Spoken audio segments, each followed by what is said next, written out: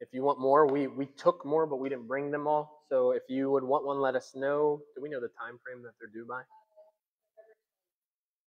No, so November 20th, which is two two weeks. Okay, so two weeks. Uh, December 11th, just a reminder, we're renting the building all the way till 2.30, so regular service. Then we're going to do a prophecy update, and then my pastor's coming to ordain me, so that'll be fun and exciting day, food and fun stuff. And then the other thing, um, as I was preparing my notes, and we're going to get to the part where Jesus says the fields are white, and then it's, it's ready for a harvest. Um, one way to do that today that I've found that's effective for the past three years, I've been doing Billy Graham online ministry. Uh, what I do is I coach different courses. So a person will, will make a profession for Christ and they'll get saved. And then there's these courses, and it's very like Christianity 101. You know, what's the Holy Spirit? What, what's the Bible? Why you should attend church? And you just walk them through that and you ask questions, and then they'll put up a verse and ask the person what they think and you just walk them through that. There's also a texting way that you can actually text back. You're through the Billy Graham thing, so they don't have your number, so you don't get any weird stuff. Uh, so you can text them back and forth, and then there's also email. And it's just a great way to, to outreach. I, I wish I would have brought it. I took a screenshot and sent it to my supervisor in that a long time ago. And it was so neat. It was an older guy, he was in his 80s, and by the time he came to the end of the course, he said, Matt, I've never been assured of my salvation until I took this course and with your help. And there he is, 80 years old, and had gone out and done witnessing, and he just never felt sure till someone said, No, you're, you're sure. You're, you're on solid ground. So it's just a great way. I've had a few people come and get saved. I've had people from the Middle East, from Africa, from all over the world um, take this course. So if you're looking for a way to outreach, you don't even have to leave your house. So it's a good way. If you want to know more about it, I'll let you know. I'll point you to it um, in better detail later. And uh, I think that was all the announcements for the week. So we are in John chapter 4. We are going to say goodbye to the woman at the well. I enjoyed our time with her. Uh, John chapter 4, we're going to be beginning in verse 27, but just, just a little bit of a recap. Uh, remember the, the Samaritans and the Jews, there's, there's a lot of hostility between the two. Um, it's a prejudice, it's, it's a hate that has festered for years, and no one's willing to compromise this. Uh, we talked about last week how the Samaritans had snuck on the Temple Mount and put dead bones all over it so they couldn't have Passover. The Jews went and burned down their temple, you know, years before that. Just this constant battle between the two of them. But Jesus takes this time to go to Samaria, and he takes this time to not only meet a group of people that were outcasted by the Jews, but to meet a, a woman, which again, which is shocking that he would meet a woman. We talked about how men did not even talk to women in public. A good Jewish man would not talk, but Jesus breaks all the barriers. He breaks all those rules, all the traditions, really, uh, to meet this woman at the well. And it just went through my head the way the old King James says it. And I listen to Joe Focht a lot, and I just love the way uh, he repeats it. You know, Jesus must needs go to through Samaria because he had to get to this woman at the well. So, just kind of a backdrop where we're at. We're saying goodbye to her. We finished with Jesus saying to her in verse 26 of chapter 4, I who speak to you am he. He was saying, I am Messiah. He makes this very clear declaration to her. He doesn't do very often. It's, it's crystal clear here. There's no doubt about it. It's funny, I was listening to other people and they're like, you know, uh, critics of the Bible, they Jesus never actually confessed to be Messiah. I'm like, have you read? Like, what are you talking about? Right here, it's clear as day, but he did. He confessed to being Messiah and made it clear. So we're going to read down from verse 27 to verse 38. And my wife told me apparently last week I cleared my throat every two minutes, so I might be drinking water a little bit more. I'm sorry if that that would annoy me like crazy. So I'm sorry I did that to you guys, but I'm scared to take a drink because I'm going to lose my place. So, anyways, verse 27. And at this point, his disciples came, and they marveled that he talked with a woman. Yet no one said, "What do you seek?" or "Why are you talking with her?" The woman then left her water pot, went her way into the city, and said to the men, Come and see a man who told me all things that I ever did. Could this be the Christ? Then they went out of the city and came to him. In the meantime, his disciples urged him, saying, Rabbi, eat. But he said to them, I have food to eat which you do not know. Therefore the disciples said to one another, Has anyone brought him anything to eat? Jesus said to them, My food is to do the will of him who sent me and to finish his work. Do you not say, There are still four months, and then comes the harvest? Behold, I say to you, Lift up your eyes and look at the fields, for they are already white for harvest and he who reaps receives. For in this the saying is true one sows and another reaps. I sent you to reap that for which you have not labored. Others have labored, and you have entered into their labors. And as well, stop there. So we get the, the picture. She goes, she goes back down into the city.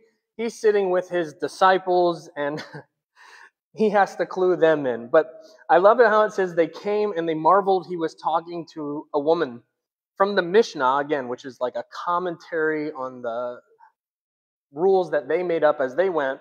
I, I, this is right from the Mishnah. I copy this.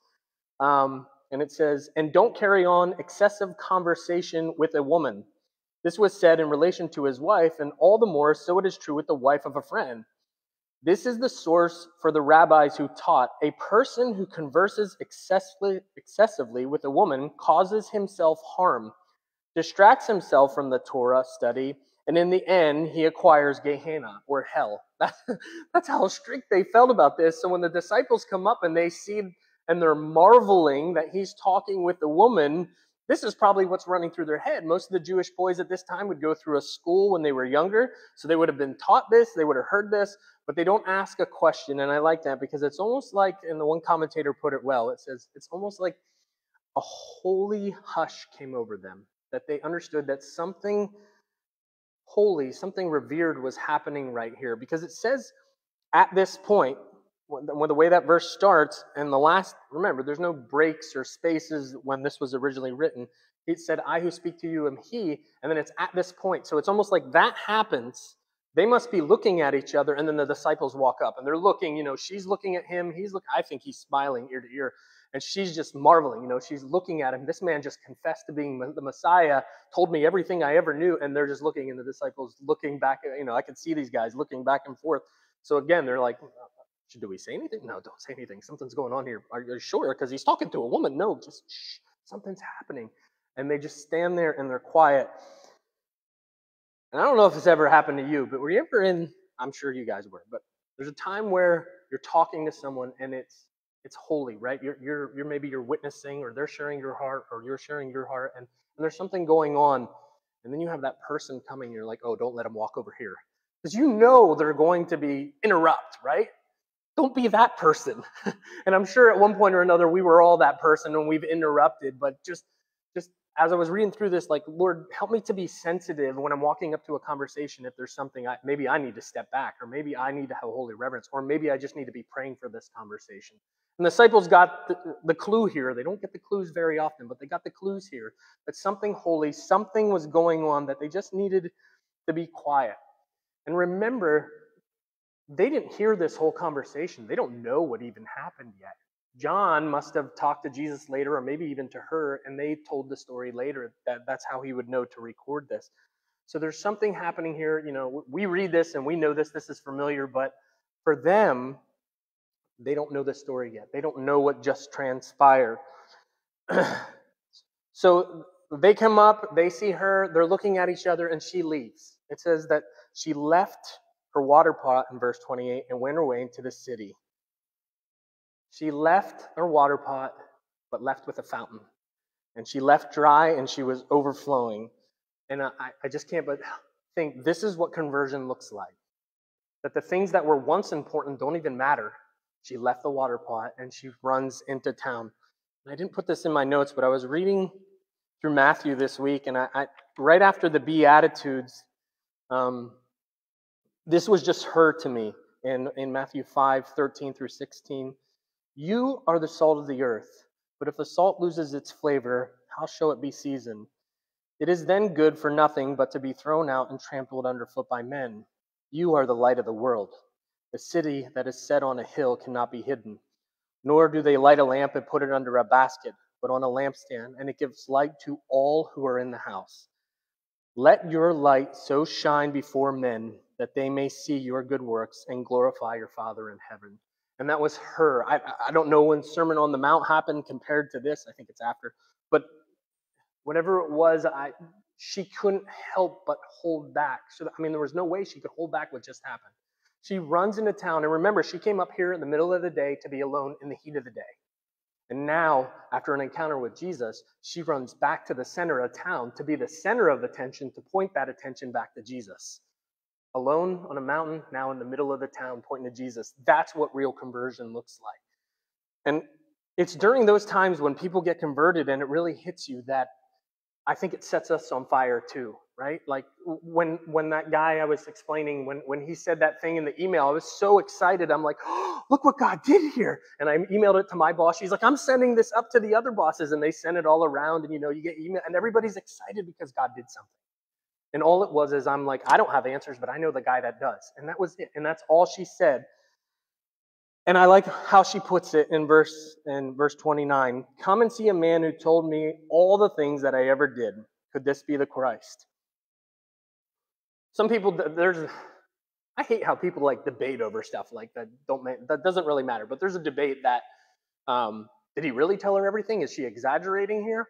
And, uh, who knows, right? It doesn't matter.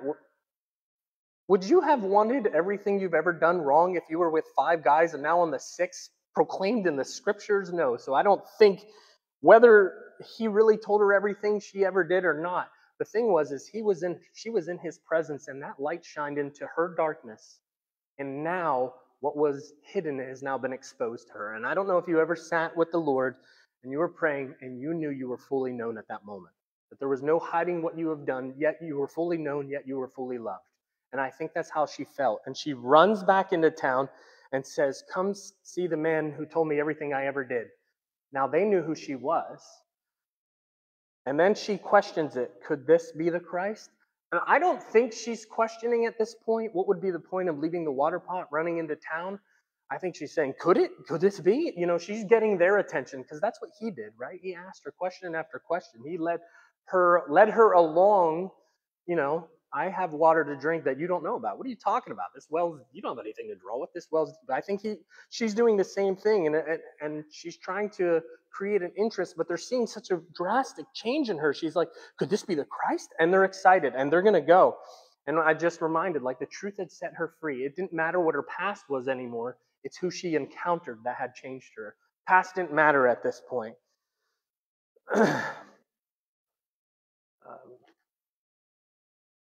Revelation 12 11, and they overcame him by the blood of the Lamb and the word of their testimony, and they did not love their lives to death. And that was her. She no longer loved her life. She never longer worried about hiding or, or being separate, but she went into town and said, Here's my testimony. And the town knew her testimony, but go to him.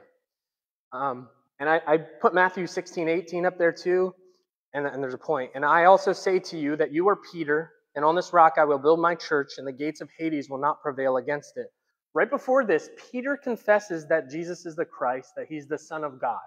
Right before her running into town, she got confessed to by Jesus that she's that he's the Christ. And so she runs into town. And it's a reminder that it's only a, your testimony is just your past sins. That's it. And Jesus set you free from those. And the reminder here is that sometimes uh, I just remember being a kid and growing up in the church, and I'm like, man, I don't have a powerful testimony. I don't have that. I don't have the, you know, I was a drug dealer, gangbanger, and got saved. But that's not the point. It's who we're pointing to, not what we've done. That's what's really important. And it says the gates of Hades, the gates of hell, and the gates were where strategy was committed. They can't overcome that. And one thing I've always noticed is people will argue Bible verses back and forth and they will debate about different scripture and what it means. But one thing they can't argue with you with, yeah, I said that right, I think, is your own testimony. They can't take that experience from you. And that can be good and bad in some cases. But when it comes to the change that was seen in her life, they couldn't argue what was different. so if you want a winning, winning strategy, just tell your testimony.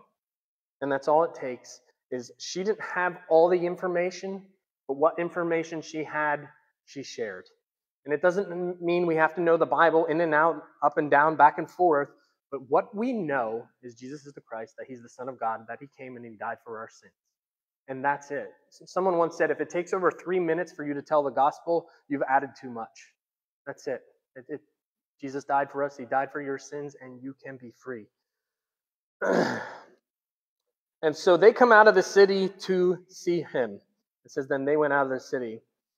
Again, we didn't have, she didn't complicate things. She didn't make it, she's, she's, he's up there, the man that told me everything I ever did.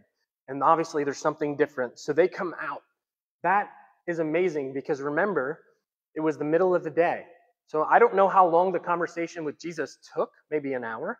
She runs back into town. It's in the middle of a workday, and they're coming out to meet him. They're leaving work because her testimony is so powerful. They're stopping whatever they're doing, and they're coming out to meet Jesus. And then we have this side conversation that is really important. Verse 31 In the meantime, his disciples urged him, saying, Rabbi, eat. But he said to them, I have food to eat which you do not know. So again, in the meantime, this is meaning that there's a break. While she's in town doing this, he needs to get these guys right at first. Because remember, this animosity between the Samaritans and them. So he's going to have to explain to them what's important. And he, again, he uses what's what's before or the topic brought up and uses that to give a spiritual application. He said, But I said to them, I have no food to eat, food to eat which you do not know. And all I can think of is they must be looking back and forth at each other like, Who brought him food? Who fed him? Did he sneak food in his pocket? He sends us all the way into town to get him food, and we come back here and he says he has food. Like, I just, they're going back and forth and confused, and it just cracks me up how I. I think these guys must have been so confused. But again, he, he does this on purpose. Jesus does this. He does this to Nicodemus, right? You must be born again. And Nicodemus, what do you mean be born again? I got to get back in the womb? This doesn't, what? But he's, he's creating interest. He did this to her at the well. I have water that you don't, you know, that you can't draw, or the fountain. I have this bubbling water that you don't know about. And she tells him, You don't have anything to draw with. He's bringing forth an, an object lesson. And I like how Jesus does that because it's the objects lessons when I was a little kid that I remember. You ever remember when you were in Sunday school, you remember some of the object lessons? I remember the little felt boards they used to use, and they would show the display of the nativity, and they would do David and Goliath. That's the things I remember. And Jesus does the same thing. So think about every time she went to the well after this. Did she just hope that he might be sitting there again? Or, man, I hope he's passing through again. And you think about this disciples, you know, here he's talking about food, but after they break those baskets, imagine anytime they picked up a basket again, they must have thought about it. Object lessons. Jesus does that. And he, he's perfect at it. It's a good thing to do, good thing to do for kids. Again, that stuff sticks with you. Uh, and uh, again, verse 33 through 34, there, therefore the disciples said to one another, Has anyone brought him anything to eat? Jesus said to them, My food is to do the will of him who sent me and to finish his work. and it's just a reminder are we more excited about what God has for us than the material? Because that's what he's saying to them. I, food is not important right at this moment. What just happened here was important, and I am nourished by it. Again, when when you witness to somebody and something happens, you're sparked, you feel alive, you feel fired up. That should be way more important than the natural. And remember, as we talked about, he came to the well. It said he was he was tired. The idea is he came back, he flopped back on those rocks. He was so tired, thirsty, hungry. And my guess again is it's Jesus. And as we see him throughout scriptures, he probably got up early to pray, and then they traveled all day long. and then he says, I'm going to do this till it's finished. And it's interesting, we know when he says it is finished, that's at the cross. The work was completed at the cross. It is finished. Uh, the word telestai, paid in full. My work is complete. So he's going to do his work all the way to the end. And it's a good reminder again. Um, I don't know what it is about the younger generation, but they they like to tell us they're gonna do things, then they just don't do it. I'm, I'm sure you guys have had that happen at some point. They're like, I'll be there, I'll help you. And then you're like, where, where is everybody? Like, it's a good reminder. Jesus did this to the end, He did it to finish. So when you make a commitment, follow through on your commitment. I, so many times we've gone and helped people move, and it's the thing that nobody wants to do, right? Nobody wants to move. Nobody likes packing up. That's not fun. And people will be like, I'll be there, and then nobody shows up, right? If you if you say something, say it, and then do it. Do it to completion. Do it till it's finished. Uh, it's a big pet peeve of mine. And all right, we'll keep moving on. 435. Do you not say there are still four months and then comes the harvest? Behold, I say to you, lift up your eyes and look at the fields, for they are already white for the harvest. and what he's asking is, is this not your common phrase that you say? And it's it's the opposite of idea when we say don't put off tomorrow what you can do today. They're saying, ah, let's just wait. That was a common phrase. Just wait because it'll happen later. That was one of their common phrases. So uh, harvest is in four months. Let's just wait, right? So that that was the idea. But Jesus says, "Behold," and when he says that, he's grabbing attention. We we hear that word a lot in Scripture. But behold, he's like, look, pay attention. I need you to understand what I'm about to say. Behold, I say to you, lift up your eyes and look at the fields, for they are already white for the harvest. And it's a contrasting look, not now or not later, it's now. The Samaritans are coming now. There is a harvest now. And this really spoke to me because I have no doubt we are at the end at the end of the ages. I, I have no doubt we are coming to the rapture of Jesus Christ and we're going to come. So if the harvest was white then, is it not more white now? That there is a reaping that needs to be done, and, and we have a society that's lost and depressed and hurt. Uh, elections are on Tuesday this week. It's a good thing to go and vote because we want morality, but that's not the hope. The hope is to bring people to Christ. And if our hope is in the election and in this country, which no, we want a moral country, yes, we do, but then we have an idol in front of God. The hope should be that there is a harvest and we should look past that and look at the harvest and see who there is that we could witness to Christ. There's a couple things that this hit me with this week. Because look at who Jesus used.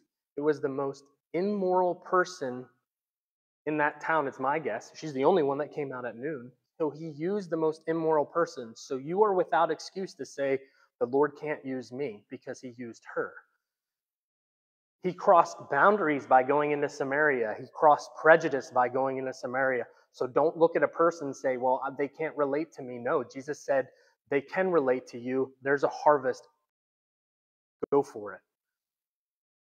I think the hardest people to witness to is family. I think they're the hardest ones to reach.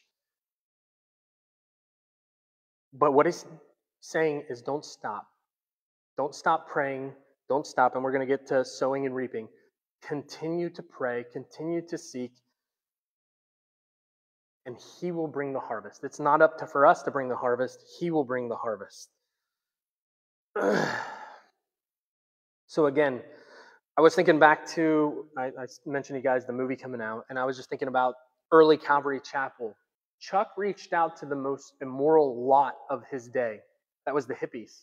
Sex, sex, drugs, and rock and roll, right? That's what they all said. And he reached them. And it changed the church, didn't change the message of the church, but changed his church. And it exploded into a giant movement. What's the most immoral group we have out today? I'm asking. I don't know. I, the, the transgender, the LGBTQ, they're, they're, you know, they're on a whole other side. Are we trying to reach them? I mean, they're there, they're, they're lost. We know they're hurt. The depression rate is higher, the drug rate is higher, the homicide rate, the suicide rate, all in that community is higher.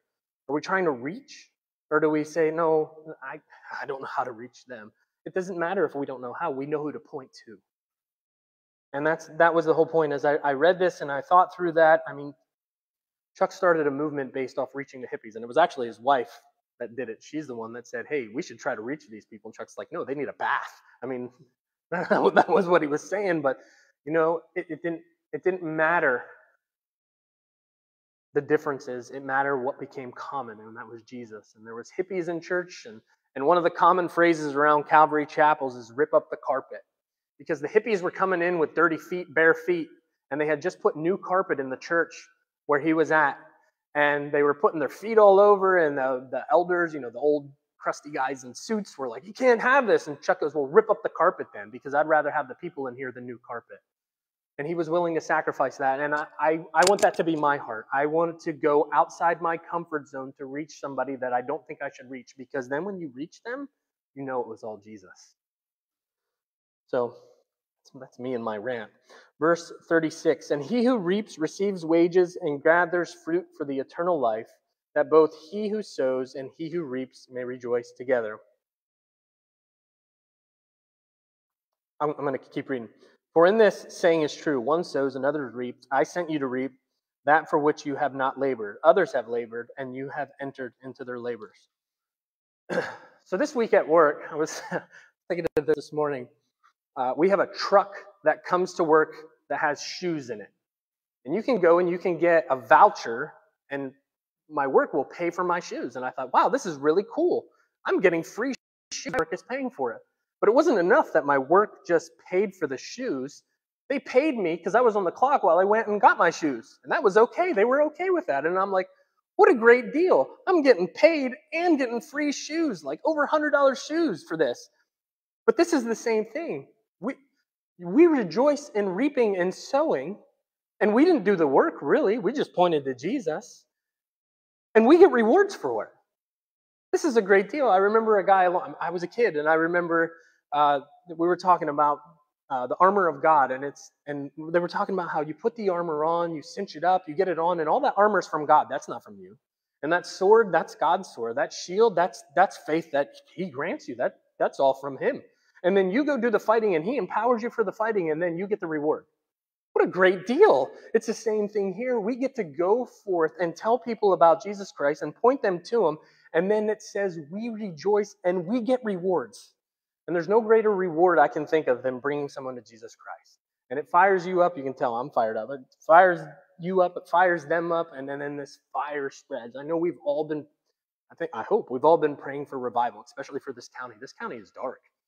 Um, I don't remember if I shared this last week, but I had an article sent from my pastor that there's a, over 600% in the schools in Montgomery County of non binary Like, what? What what is it so what is going on? What is these kids being taught? It's so dark. They're so confused.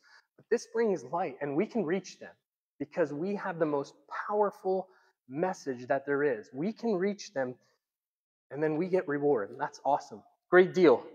Um, and then just to remember isaiah 55 so my so shall my word be that goes forth from my mouth it shall not return to me void but it shall accomplish what i please and it shall prosper in the thing for which I sent it. Again, notice it's all God speaking there. My word, I, I, it's all on, on Him. He's the one. It's His word that won't return void. Um, and then just to remember to be patient with it, 1 Corinthians 6 through 8. I planted, this is Paul speaking, Apollos watered, but God gave the increase. So then neither he who plants is anything, nor he who waters, but God who gives the increase. Now he who plants and he who waters are one, and each one will receive his own reward according to his labor. Again, that there's a time you may plant, there's a time you may seed, but the reward, you still get a reward, and then we rejoice in the reward because the reward is the person. The reward is the woman at the well. That's the reward. And what did she do? She went into town and she brought the whole town forward. And this is the result here in verse 39. And many of the Samaritans of that city believed in him because of the word of the woman who testified. That's one. He told me everything I ever did. So when the Samaritans had come to him, they urged him to stay with them, and he stayed there two days. And many more believed because of his own word. That's two. So her word of testifying who he was, and then his word confirmed it. And they said to the woman, This is beautiful. Now we believe, not because of what you said for we ourselves had heard him, and we know indeed that this is the Christ, the Savior of the world. He's not just, yes, he came for the Jews. Remember, he told them salvation is from the Jews. But what does he go in and tell them? What, what sermon does he give him that at the end of this, they're saying he is the Savior of the world? This just isn't for the Jews, this is for all of us. One thing I wrote down that, ha- that hit me was with her, with the woman at the well, and this is it, we don't see her again, is that your past sins are your current testimony. Your past sins are your current testimony. That those things that have happened in the past, which are past, are paid for, blood bought, and now are a testimony. And all these people came forward and they confess that the Christ is the Savior of the world, that this man, that this guy who came to them. I remember for a long time, and I, I have lost the habit of it, but I used to carry Gospel of John's with me and just little pocket Gospel of John's. And if somebody would say anything or we get into a conversation, I'd just be like, here, read this. And it, it's so simple. It's the Word of God. We give it to them, and then it's between them and the Lord, right? You're, you're kind of out of the picture. And that was the beautiful thing here. She pointed, and then the Lord spoke. And it was, it's an amazing thing, and it's just an easy thing. This phrase, Savior of the world, is only one other time in Scripture, and it's John again. And for we have seen and testify that the Father has set the Son as the Savior of the world. And I wonder if when he wrote this, he was thinking of this instance of the Samaritans, because he would have wrote this before he wrote the Gospel of John. Did he think of that? These people came out, the, the people that they rejected, the people he, he later wanted to call fire down from, that's where he gets the term son of thunder, that they came out and they called him Savior of the world. so they, they convince him to stay. He stays for two days, verse 43 through 45. Now, after the two days, he departed from there and went to Galilee, for Jesus himself testified that a prophet has no honor in his own country. So when he came to Galilee, the Galileans received him, having seen all the things he did in Jerusalem at the feast, for they had also gone to the feast. Now he's making a point here, and this next miracle, I think, is, is the point. He's going back home to where he came from. Now, if you remember, I believe it was the end of chapter 2, it says he did a lot of miracles in Jerusalem. We don't know what they were, but it said he did a lot of miracles. So the people that were in Galilee, because remember, we said all everybody's coming down for the Passover. Everybody, all the males over 18 were required to be there. So they saw the miracles. They probably saw him tossing the tables. And so they, they run to him. They want a sign. They want a miracle. And that's why he's saying there's, there's no honor here. You just want a show. I'm, I'm not here to give a show. he once again, he wants what the Samaritans said. For we ourselves have heard him, because that was the testimony that they gave. They had heard him. He wants them to live by word. And again, I think this next miracle points out is is uh, object lesson again for what was being said here. Verse 4, 46 through 47. So Jesus came again to Cana of Galilee, where he had made the water into wine. And there was a certain nobleman whose son was sick at Capernaum. And when he heard that Jesus came out of Judea into Galilee, he went to him and implored him to come down to heal his son, for he was at the point of death. So he came from Capernaum. That's about 20 miles a day uh, away, so maybe a half day's ride, whole day's walk. I'm not sure. Um, so roughly about a day's journey. He was a nobleman. The the literally that means a royal person. More than likely, again, debate. More than likely, he came from Herod's court. He's he's part of Herod's. He could be a centurion. There's another healing where Jesus heals a centurion and he heals him from a distance, but that's about all that's the same. Then then this kind of diverts a little bit and it changes. I don't think it's the same instance. So this man comes, he's a nobleman, he's royal, and he's coming as a father, a heartbroken father. And again, death and sickness are a great equalizer, right? He's probably tapped out all his resources. He has nothing left. He has heard of this miracle worker, so he rides down to Jesus. And it says he implored him to come down and heal his son. That's that word implore means he's begging and continuing to beg. He is not stopping. Jesus, please, please come to my son. Please heal my son. Over and over again. It's this imploring. And now you have another contrast where we have the Samaritan woman. We don't even get her name. We don't lowest of society to a nobleman, elevated and up. And now he is imploring Jesus. And this next part seems kind of kind of harsh, but I think when we look at it, it'll make more sense. Then Jesus said to him, Unless you people see signs and wonders, you will by no means believe.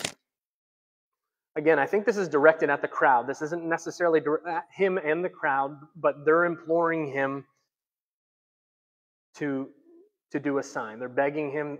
The, the father's begging him, but the crowd just wants a sign. They just want to show. So I think Jesus does this the way it is uh, because of that. And there's a lot of that today. I'm going to take a drink. This faith healing and this uh, desire for a show, who who has the best worship team, who has the best speaking, When, when again, it all just comes back to the scripture. It all comes back to Jesus. That's what we want. And sensationalism, sensationalism based on faith is superficial. So if it's all about miracles, if it's all about a show, then it's it, there's no substance behind it. And then if you think about the Jews after they left Egypt, right? They had sign after sign after sign, miracle, water, water in the blood. They had the locusts, they had the darkness, they had the child being, being killed. They walk through the Red Sea on dry ground. They come out the other side. Pillar of fire at night, cloud by day, food every day. And then they get to the mountain where the law comes down and they create another God. And they create a golden calf. So signs and miracles are not a good basis for faith. The Antichrist will come doing lying signs and wonders. So if you're based in signs and wonders, you're going to miss the truth. And like like he told her, like he told the woman at the well, in spirit and in truth. That's how we should be worshiping the Lord. It should be a, a balance of both. So don't be looking for signs and miracles. They're great when they happen. It's great. I can't say I've ever seen one that I can think of off the top of my head, but it, our faith should never be based in that thing because it will never, never be enough.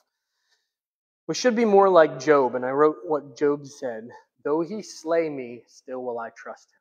And we get this entire book of a man who refused to cure. His wife walks up to him, covered in scabs and sores, and friends just not being any help, really. And he says, though he, his wife comes out and says, why don't you just curse God and die? He says, no, though he slay me, yet will I trust him.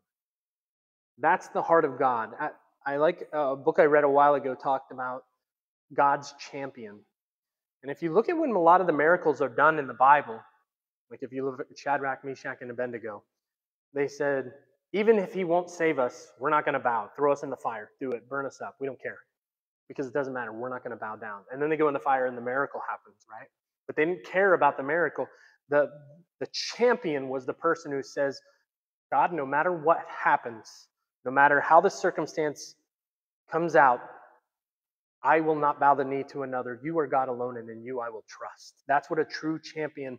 And I believe God lifts those people up like he did to Job. We have a whole book on him and, and says, Here is my champion before Satan, before everybody. This is the person I have called. This is a true person after like David, a person after my heart. All of David's failings he would say, This is a man after my own heart. And why was David a man after God's own heart? Because he never went to another God. He might have messed up and sinned along the way. Not might, we know he did. God still raised him up at the end and said, This is a man after my own heart. So no matter your failings, David never turned from me. He always came back to me, and when he always repented and came before me. so, verse 4, 49 through 51 the nobleman said to him, Sir, come down before my child dies. Jesus said to, to him, Go your way, your son lives. And the man believed the word that Jesus spoke to him, and he went his way. And as he was going down, his servants met him and told him, saying, Your son lives. When the man says, Sir, come down before my child dies, that one is li- that term is little one, my dear one. It's the same one when uh, Jesus raises the little girl uh, from the dead. It's, it's a little dear one, a little, probably very young is the idea, probably maybe toddler age. It's and then Jesus says, Your son will live. So he says, My little one, my dear one, Jesus says, Your son will live. and the man says, Come down. And Jesus says, Go. And he responds in belief. And it seems like it must have took him some time to get back there because again, it's the next morning. It seems like he gets there because it says um, in verse 52, then he inquired of them the hour when he got better, and they said to him, yesterday, so it's the next day. At the seventh hour, the fever left him. So the father knew that it was at the same hour which Jesus said, Your son lives. And he himself believed, and his whole household. This again is the second sign Jesus did when he had come out of Judea of Galilee. So the nobleman believes, and he responds, and then he sees the miracle. And then he recognizes that the miracle happened the moment that Jesus spoke. Again, it was the word of God that that changed it. He wasn't he just responded. He just believed. It said, and I, I love that because he didn't. This whole crowd is clamoring for a miracle, and Jesus says, "Just believe and go," and he, and he does. Oh goodness, sorry. And that was very distracting. but he goes down out of belief. He goes down because he listened to the word of God. And it should be the same with us. We go because he commanded, not because we're looking for him to do something. There was a lot of stuff I felt in here, and I had a feeling I'd be a little quicker, but um, it just moved me how there's a harvest out here, and Jesus shows us how to do it. He shows us how to inquire, how to ask questions, how to how to create interest, but mostly how to get to the heart, right? We want to get to the person's heart and show them that they're lacking, and that's what Jesus did. He showed the disciples, "You're you're looking for the physical, and I've got something spiritual." He told the woman at the well, "You're you're looking for substance. You've been looking in all the wrong places, but I have it." And there's a world that's lost, and they're doing the same thing. They're looking, and we can see it over and over again. They're so caught up in, in things that really don't matter. And all we have to do is point them to Jesus. And that's what this just really spoke to me this week as I went through this study. Because when his word comes out, he changes things. And I, I think I said it last week, but I'll say it again. I think it was uh, C.S. Lewis that said, um, we don't have to defend Scripture, we just have to unleash it, right? And it's the same. So just let Scripture speak. Continue to pray for those you've been praying for for years, family, friends. Look for the one that's the lost, the one that's too far, the, right? That the one that you don't think he can get to because he can. And he would love to prove you wrong in that. I think he would.